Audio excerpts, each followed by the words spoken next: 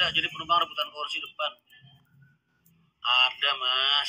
Cuma penumpang karena nggak sabar aja pengen naik ke dalam bis. Ada kursi ada. Dena kursi bilang kagak ada gimana ada dena kursi nih tuh tuh tuh tuh. dena kursi. Bos jadi kelihatan dong penumpang udah separuh separuh buat ntar malam. Jadi gak enak tuh. Ada denanya cuman kelihatan rebutan itu karena penumpang MT itu antusias mas. Pengen buru-buru masuk. Ada jadi ya gitulah vibe-nya. Kayak Jakarta era tahun 80-an mas. Gua duluan masuk MTI gua duluan gua duluan. Begitu mas. Ada. Dena kursi ada stiker juga jelas. Emang karena saking antusiasnya pengen cepet-cepet masuk ke kabin MTI biasalah orang Indonesia. 02 terluka mas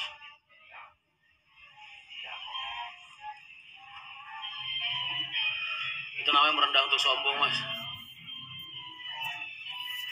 Kayang tidur situ. Kagak Enyong lagi di Cina. Enyong kan di sini sampai jam satu malam kemarin. Jam 3 dia terbang ke Guangdong. Dari Cikokol ke Klaten Pekalongan. Itu bukan penumpang mas itu youtuber. Iya. biasalah orang-orang yang nggak terima kenyataan kan suka begitu mas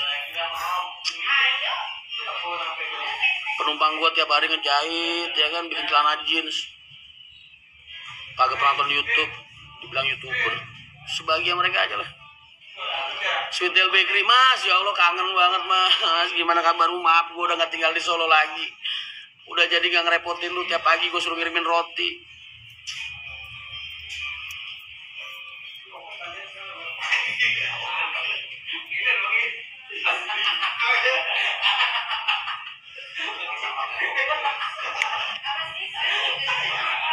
ada yang bilang penumpang bayaran mas. Ya emang bayaran. Dia kagak bayar mana boleh dia naik. Harus bayar lah penumpang bayar bener. Bayaran. Mas kantor Dewi Sartika dekat rumah kapan ada waktu mau sowan? Loh saya tuh kapan pun mas. Nah orang kalau biasa kenal sama gue mas jam 2 malam dia datang bertamu nyari gue tuh biasa. Kan gue soibul mas. Yang punya malam kacamata 4 juta. Setiap rusak gue benerin gue servis ya kagak kuat beli lagi mas.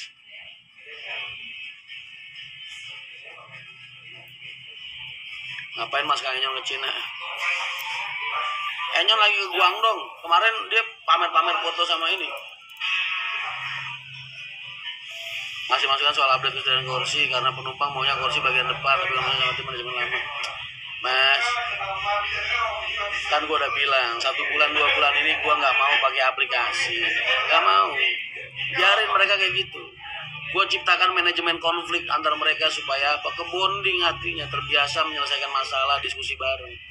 Mengenal satu sama lain dengan dekat. Itu emang cara gua mas metode gua.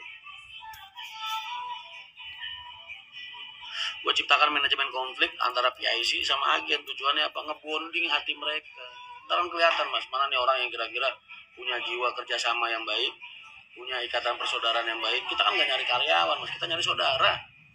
Seperjuangan. Itu trik gue itu. Trik gue mengendali pengelolaan SDM gue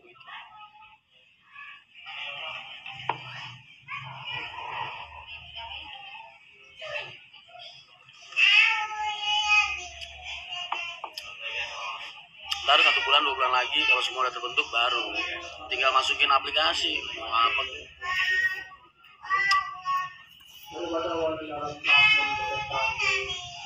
Lagian penumpang apa sih mas? Mintanya depan mulu, emang kursi gue suruh 1 sampai 40 baris memanjang mas, ntar bis gue jalan miring. Perlu disadari, kursi depan itu cuma 4. 1, 2, 3, 4.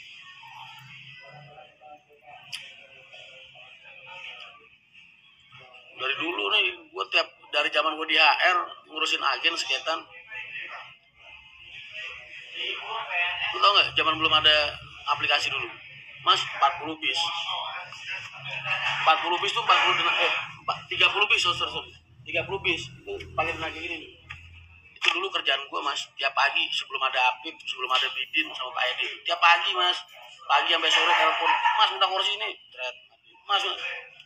Itu kerjaan gue tiap pagi pagi sampai sore gue di kantor sore sampai malam gue di terminal. Dulu zaman belum ada aplikasi. Sebelum Apip ke operator kan gue pegang semua. Makanya kerjaan-kerjaan yang gue delegasikan ke anak-anak jobdesk-jobdesk yang gue delegasikan ke anak-anak itu semua dulu gue yang ngerjain mas kecuali mekanik. Makanya gue bisa bisa ngasih mereka jobdesk sesuai dengan SOP gue karena gue pernah jadi mereka semua gitu